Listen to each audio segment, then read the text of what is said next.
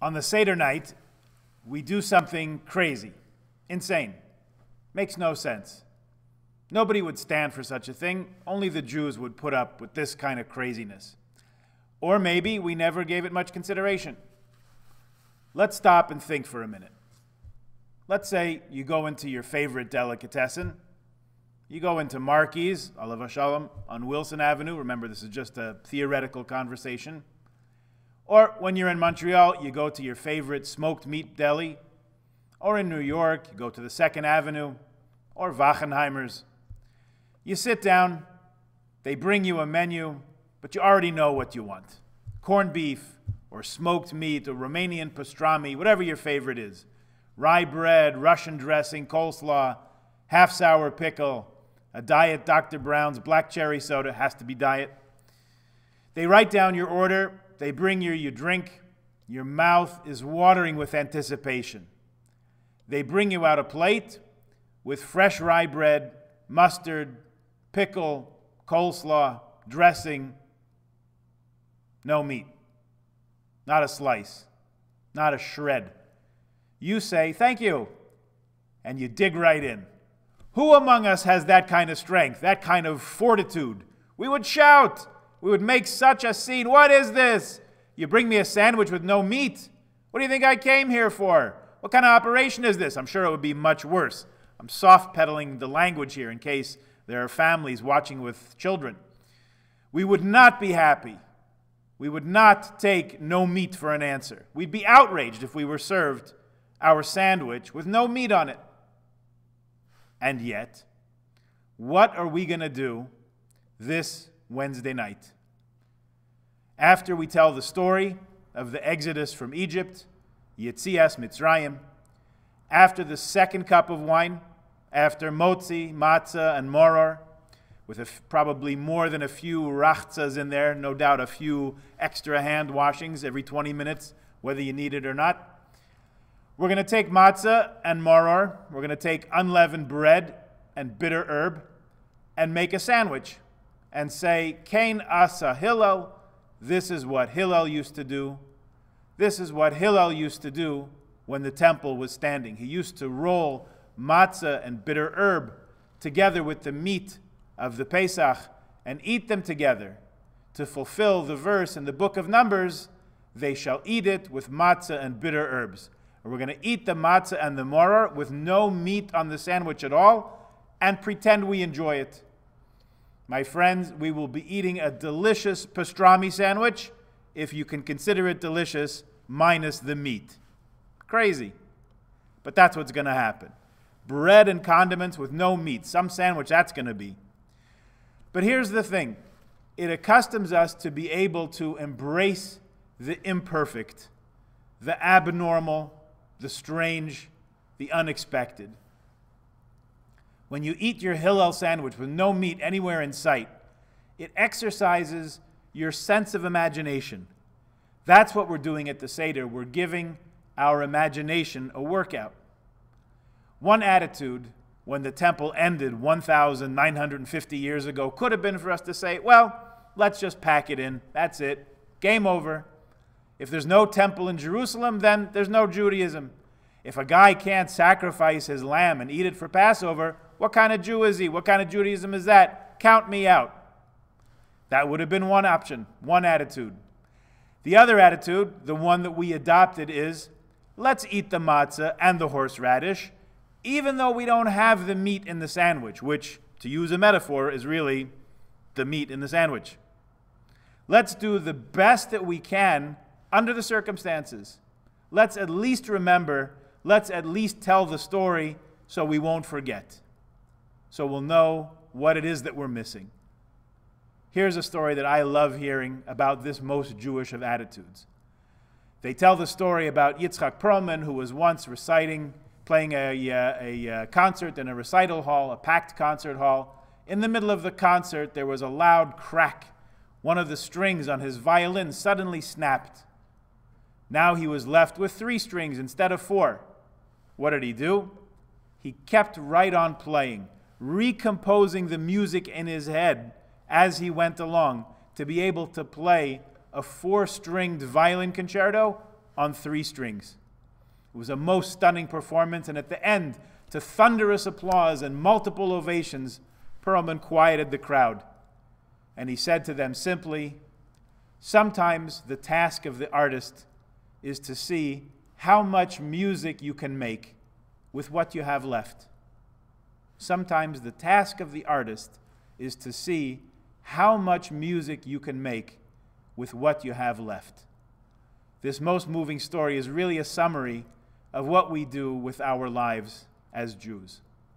For much of the last 50 years, maybe even more, the world has been more or less favorably disposed to us. For the last 30 years, since communism crumbled in Russia and Israel continued to strengthen itself, it's been pretty good to be Jewish. No one told us what we can't do. No one really restricted us from learning, doing, being Jewish. Now, all of a sudden, there's a great restriction placed on us, not by the KGB, not by the Nazis, but by some stinking respiratory virus that none of us ever heard of last Hanukkah time. And because of that, we can't get together to daven on Shabbos and Yom Tov. We can't invite our friends and relatives over for the Seder. Even some parents and children are forced to remain apart, when of course there's nothing that they would love more and expect more than to be together for the Seder. So let's take a page of inspiration from the Yitzhak Perlman story and see how much music we can make from what we have left. Let's take a page or a leaf of inspiration from the Korech, from Hillel's sandwich, and see how much Seder we can make from what we have. No meat, just some dry matzah and some horseradish, some romaine lettuce, no guests, just ourselves. This year, people are saying, why can't we have everybody together? Or at least, very least, have a Seder by internet. Why can't we be together virtually? So here's a suggestion for that spend as much time as you possibly can after Shabbos, Sunday, Monday, Tuesday, even Wednesday. Spend all day Wednesday on Zoom, on the phone, on Skype, whatever platform you use to be in touch with your loved ones. If you want to make a Seder for the kids Wednesday afternoon, let's say from 4 to 6, then do it by all means. Bubby will love seeing it on Zoom. But because of health concerns, we are not going to get together for the Seder with the extended family, with anyone who doesn't live in our house. Because we understand that it's a risk to their health, to our health, to the health of others. So we're not going to do it. We're also not going to Zoom on Yom Tif, and here's why we are fast becoming digital slaves. If you don't believe me, try this simple experiment. On Monday, promise yourself when you wake up, you're not going to check any media, no newspapers online, no email, no Facebook feed, no Zoom, no WhatsApp, nothing, no internet at all. See how long it takes you in the day to start getting jittery and shaky, anxious. You'll need a fix. You're going to go through withdrawal. We depend so much, so heavily on our devices and our screens to occupy our time, make our connections, fill our heads. We're becoming servants to the screens, not the other way around. So Baruch Hashem, comes Shabbos, comes Yom Tif, Yom Kippur, Pesach, Shavuos, whatever it is, we say, okay, no email today, no WhatsApp today. I'm just going to talk to the people who are around me. I'm just going to be me. Not virtual me, but actual me. Well, our digital virtual media smartphone is not so happy with that compromise. So it waited patiently until it found an opening. Aha! An emergency. Now everyone's going to want to use me on Yom Tif, and it's for a good cause to be together with family. What could be more important than that? Please, let's not let ourselves be fooled. It's not an emergency, it's not life or death. This is not an emergency where they come and they tell us we have three days to leave Anatevka. That's an emergency. And even then, not something we can handle. So use Zoom and phone and Skype and WhatsApp, all you possibly can, right up until Yom Tif. Then when it comes time to light the candles, Wednesday night, 735, light your candles, sit down with whoever's in the house, and make the Seder. Even if it's just you, you get a chance to use your imagination. There were stories going around the net this week of great rabbis who made the Seder all by themselves, alone, even though people offered to keep them company, even though people invited them over. They made the Seder all by themselves. perhaps to show that not only is it perfectly all right, perfectly kosher to make the Seder all by yourself, it's holy, it's powerful, it's real. Not virtual, it's the real thing. This year, this special night is going to be different than all the other nights. And different usually doesn't mean worse, usually it means better. So let's make it that way this year. Let's let this night be different. Let's make it special and holy and memorable for the very best. Now, back to our sandwich, back to our Hillel sandwich. It's called korech, which really means rolled up. We use matzahs nowadays that are baked to a crisp and beyond to make sure they're baked all the way through. In Hillel's time, it seems the matzahs were softer, so they could actually be rolled around the roasted meat and the bitter herb of the Passover sacrifice and eaten that way. Sounds to me like a shawarma laffa wrap with horseradish, which actually sounds pretty good if you think about it. So here's what happened, it seems. The Torah says it's a mitzvah on Passover to eat unleavened bread, eat matzah. The Torah says it's a mitzvah on Passover to eat bitter herbs, maror, to remember how unpleasant and bitter tasting slavery and captivity is. And of course, since it's a holiday, the Torah says it's a mitzvah to enjoy the roasted meat of a paschal or Passover offering, a korban pesach. So if each one of those is a mitzvah, probably each one should have a bracha, a blessing of its own. Now Hillel said, hey, what if we take each of those and eat all three together, like it says in the book of Numbers in Bamidbar? So he rolled them up together, made a bracha, and enjoyed. Gishmak, delicious. Now, in our times, they still bake matzah, they still sell horseradish and romaine lettuce. But the problem is, since there's no temple, we can't prepare and enjoy or share any offerings. So, no korban pesach, no meat. Great for the vegetarians, but what about the rest of us? We have to make do without. So, we're back to that question do we forget the whole thing? Or do we do the best we can with what we got? Our answer, of course, is we do the best with what we've got. Welcome to the Pesach Seder. Welcome to the Korech, the amazing Hillel meatless memory sandwich.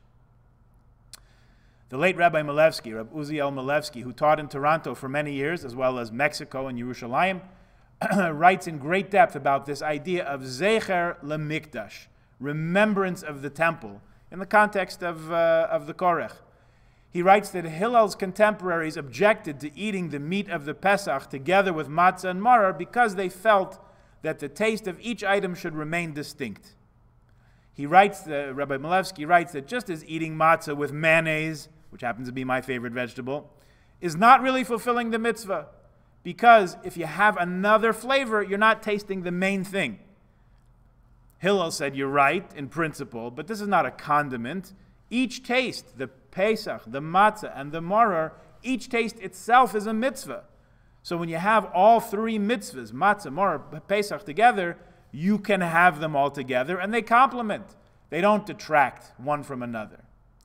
Then Rabbi Milevsky wonders if Hillel himself would eat the Hillel sandwich, the korech that we eat today, with no Pesach only and Maror only a rabbinic mitzvah as a memory of the temple. From there, he asks, since we're on the subject, why is it that Maror is considered to be here a rabbinic mitzvah, not a Torah mitzvah? So he explains, interesting, what happened over time, over decades, over centuries, millennia of exile. Just like happened in Egypt. We got used to slavery and subjugation. We got used to it.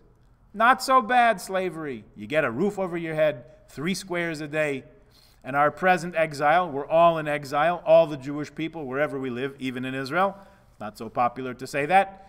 Uh, as long as the nation is unredeemed, the world is unredeemed, we're all still in exile. That's what exile is. But you know, not so bad. In fact, it's rather comfortable. Cable, I got internet, takeout, quite comfortable actually, till this pandemic scare kicked in. But Rabbi Milevsky says it's a shortcoming. It doesn't reflect well on us that we're not bitter about it. We've lost our perception of suffering, our resenting, our bitterness towards exile. We say, as people say, it is what it is. True enough. But what is it? It's bitter.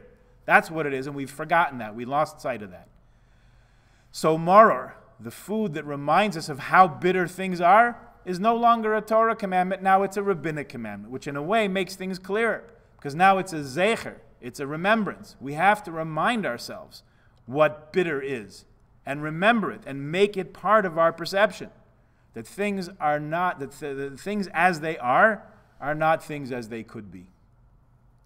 But it also makes things a little more complicated, technically speaking, because now matzah and maror don't go together the way they once did. They're no longer both Torah commandments. One is a Torah commandment, one's rabbinic, as a remembrance, because we're not eating it with the Korban Pesach the way it's supposed to be. So, how does that affect everything? The majority of the sages feel that each menu item here is a separate thing, which each gets its own separate bracha. We eat the matzah and we say hamotzi and alachilas matzah, two brachas in fact.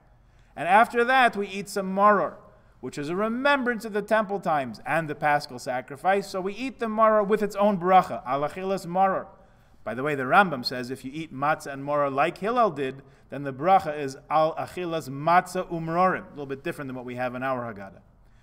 And as an aside, you remember we dip the whole thing in charosis, right? Which is also a remembrance. Remembrance of the mortar that we joined the bricks together with when we were building in uh, Egypt. So you have a good question. Why don't we make a barach on charosis also? Another time we'll talk about that. But now, in our times, we do as Hillel did. We combine them. We first eat them separately to fulfill the opinion of the sages, then we eat them together. Hillel felt that the maror and the matzah and the meat of the sacrifice should be eaten together, and that's what he did, so that's what we do too. One reason is that he appreciated that if matzah indicates freedom, and maror indicates the bitterness of slavery. it takes the two of them together to make us appreciate fully what we have and what we are, and how our experience becomes part of that. Rav Kook, the first Ashkenazi chief rabbi of Palestine, writes that Hillel would eat the matzah and maror separately and then together to fulfill both opinions, like we do. And he explains that the symbolism is that you could understand that there's a divine reason why we have to suffer and that God redeems us from Egypt and continues to save us throughout history. We need to eat maror and matzah both. However, we're at risk. We might see these as two totally separate things. Sometimes we suffer for a reason, sometimes we're saved for a reason. So Hillel is teaching us that in order to truly understand the suffering, we need to fuse it together with the freedom the limitation of slavery and the expanse of redemption are part of the same continuum, two points of the process. So Hillel ate the matzah together with the maror to show that they can only be understood and accepted fully and internalized when you eat them together. He goes deeper, Rav Kook. Says that it's important to understand that the two aspects of life, freedom and servitude, symbolized by matzah and maror, are not independent from one another. They actually interact, they actually complement one another. The highest freedom is attained only when it's crowned with the sublime servitude, which is, of course, service of the Melech HaKavod, the King of Honor, HaKadosh Baruch Hu. That is complete freedom. Ultimate freedom comes sandwiched with servitude. This is when a person finds in their soul the complete mastery of a truly free person who rules over the greatest of powers his own power of freedom itself. He says it's no coincidence that the exclusive remembrance of the temple and the entire Seder is according to Hillel's view. Hillel, remember, is the one who says in Pirkei Avos, after Pesach, we're going to start learning Pirkei Avos Shabbos afternoons. And there Hillel is quoted as saying, Be like the disciples of Aharon, love peace and pursue peace, love humankind and bring them to Torah. It's this approach of Hillel, the peacemaker, that will bring about the restoration of the Holy Temple, says Rav Kook. The Alshich HaKodesh sees the Yetzer HaTov symbolized in the matzah and Maror indicating Yetzer Hara.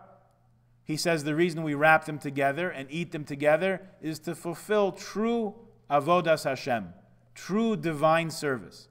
When in Shema we read B'chol levavecha, with all your hearts, it's in the plural, this means with both your inclinations. You have to serve God with your positive inclination and also with your Yetzer Hara. Rav Ramon from Gush works with this idea too, saying that freedom is important, but freedom can be a gift or a curse. One has to know how to live as a free person. One who's free of all constraints and can do whatever he wants. That's not truly free. A free person is one who can do whatever he wants to, but does only that which his pure soul, his neshama, instructs him to do. A free person is one who knows how to control his freedom. There's terrible slavery, but there's also uplifting slavery, which is using your strength to advance your soul. Slavery by itself is terrible. That's why we do not lean when we eat the maror by itself. However, when slavery is joined together with the characteristics of freedom, when it complements a person's freedom, it's elevated. And that's why we lean like free people for eating the korech, the sandwich. This is the path of true freedom. Freedom governed by self control is uplifting servitude. Rabbi Soloveitchik has this to say about the meaning of korech, the Hillel sandwich. He says the experience of Egyptian servitude underlies the very morality of the Jew. The fact that in Egypt the Jews were exposed to all kinds of chicanery and humiliation engendered in the Jewish people sensitivity and tenderness towards their fellow man. Without the experience of slavery, we would have remained unexposed to suffering, emotionally vulgar and insensitive. Thus, only in Egypt could the Jews have become an Am and a Goy Gadol, a, pe- a, a people and a great nation. Not sure Rabbi Soloveitchik would appreciate me sprinkling in a little gematria to underscore his point, but the Pe'er Aharon on the Haggadah notes that the gematria of Merorim and Malchus is the same, that bitterness and sovereignty, kingship, share a common origin. Rabbi Ephraim Nissenbaum writes, writes that uh, the Targum Onkelos, the Aramaic translation of the, of the Torah, translates the word Pesach as chas. We usually translate it skipping over, but here it says chas, which means compassion, in contrast to the way we usually translate it, pass over right? He says that the Bnei Yisrael perhaps did not thoroughly deserve God's compassion at the time of going out of Egypt, but nevertheless, He took us out. And he says this was on two accounts. One, he had compassion for the terrible persecution that we suffered, and two, that we later showed great trust and devotion by following God into the desert, not knowing where we were going, not knowing what we would eat. God knew beforehand that we had this faith so he made us worthy of redemption from Egypt. So the Hillel sandwich has to be matzah and maror together because the paschal sacrifice has to be eaten with the foods that represent the source of God's compassion the matzah, which is the faith that we later showed, and the maror, the bitter suffering of slavery. By the way, in that same vein, Beis Avram Beis Aaron, another commentary on the Haggadah, notes that we have to make a sandwich, one on top of the other, with uh, the maror in between, because one piece of matzah recalls the matzah in the korech, and the other piece of matzah rec- recalls the meat of the Pesach itself. Then you have the mar. Now you have all the elements. Toldos Yaakov Yosef, disciple of the Baal Shem Tov, explains that matzah represents tzaddikim, who have no trace of Yetzer Hara, and maror, which in gematria is also mavis, death, that refers to the wicked, whom the Gemara refers to as if not living. Since Hillel was the epitome of kindness, he would wrap the two together and eat them together. He would instruct the righteous to maintain contact with the wicked and draw them close to Torah. Thus, they would develop contact with the Aleph, the Alufo Shel Olam, the oneness of God, and add to that mace, death. Aleph plus mace equals emes, truth. Sfas Emes writes that eating matzah and maror together expresses our conviction that God's running the world is the same, both in times of exile and in times of redemption. Also, in truth, everything Hashem does in the world, whether it seems sweet or bitter to us, is directed towards the same goal. So every day in davening we say, Melech Memis Umachaya Umatzmiach Yeshua, the King who causes death and restores life and makes salvation sprout. We affirm that life, death, and resurrection are all essential links in one chain that leads to Geula, leads to redemption. As long as we're in exile, it is for us the opposite of life, and only redemption will bring us true life, Chayim Amitim. Combining the matzah and the maror together expresses our belief in the total unity of God's plan for the world. And for this night, at least, it sweetens the bitterness of exile. Dr. Erica Brown came out with a conversational Haggadah a few years back titled Seder Talk. There's some insight into each point, and then she offers you a question to discuss at the table. Her explanation of Korech first asks what exactly the Hillel sandwich is meant to be. Is it a memory sandwich of the Exodus night, or is it a scrap of matzah and herbs to recall the destroyed temple? When the temple stood still, people could make the exact sandwich that the Bnei Yisrael once would have eaten on the very first Passover, and that's what Hillel did. Here we are, here we're also recalling not only the first time this was done, but the way we were able to relive this event with greater precision when the temple existed.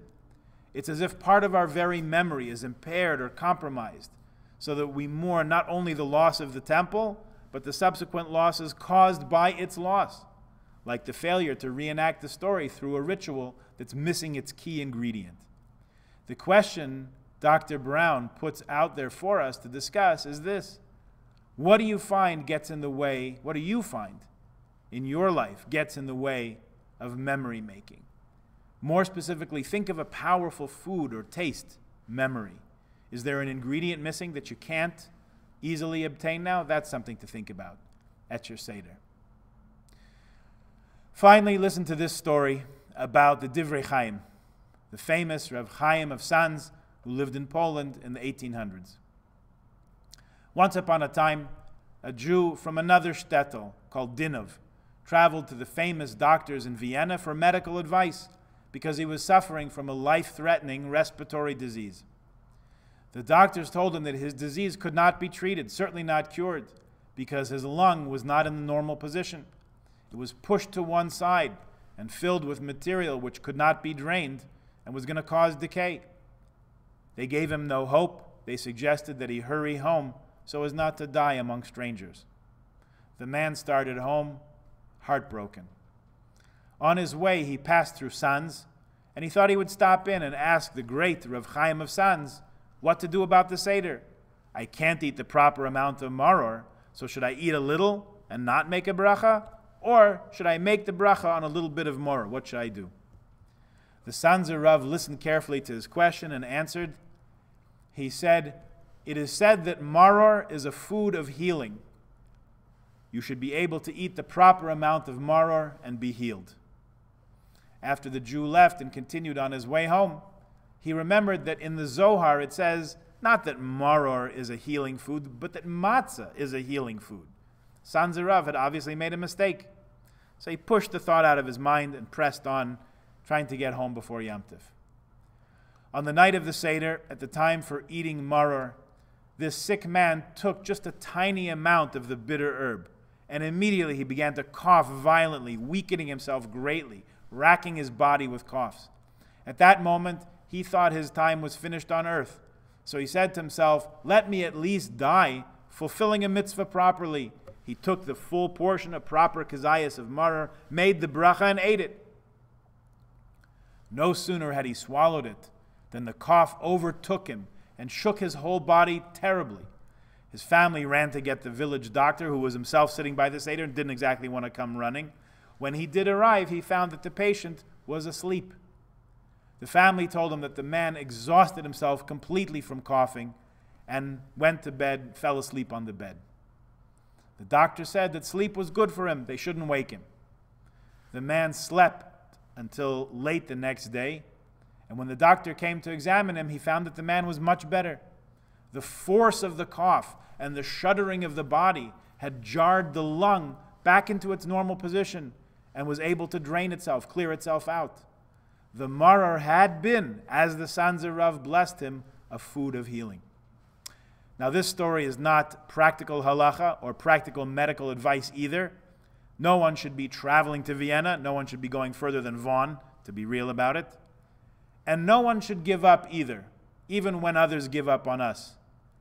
And remember this what did this Jew say? Well, I might as well do the best I can under the circumstances. And it worked out. It seemed impossible. It seemed hopeless. It seemed futile. It seemed illogical. But he said, Let me do the mitzvah the best I possibly can. That vision should be our vision this year at the Seder. The Hillel sandwich, that delicious meat sandwich without the meat, that's our banner. That's our rallying point. We don't have the things the way we want. We don't have Bubby and Zaidi at the Seder. We don't have a Korban Pesach. We don't have the family together. We don't have a temple in Yerushalayim. We don't even have our freedom. We could go on and on about all the things we don't have, but that is exactly what Pesach is not about. We acknowledge what we do have and we're thankful for it. Dayenu, we say. And we look forward to even better times. We say in the very beginning of the Haggadah, now we're slaves, next year let's be free. Now we're here, next year let's be in Yerushalayim.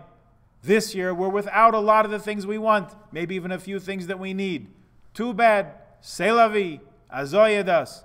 We're going ahead with it anyway. Those who have to make the Seder alone, make the Seder alone. It's going to be good. Those who can make the Seder with a few others, make the Seder with a few others. It'll be good too. We're going to reach deep into the well springs of our Jewish imagination. We're going to imagine ourselves sitting around Bnei Brak with Rabbi Tarfon, Rabbi Akiva, Rabbi Elazar ben Azariah, discussing the Seder all night until sunup. We'll imagine ourselves at the Seder table with our Zaydis, only this time we get to do all the talking. We'll imagine ourselves in a world truly liberated from sickness, and strife and sadness and sorrow, and liberated even from death and from loss. We'll make the Korech this year, as it says in, in the Haggadah, we'll wrap together the taste of freedom and the misery of slavery together, and we'll realize how much the bitterness of one helps us appreciate the sweetness of the other. We'll sit at the Seder table as slaves to the quarantine, but we look forward very soon to being free and healthy and happy and safe. May it soon be true for all of us in our precious Kehillah, for the whole world, and may we all enjoy a happy and healthy and kosher Pesach. Good Shabbos, good Yom Tov.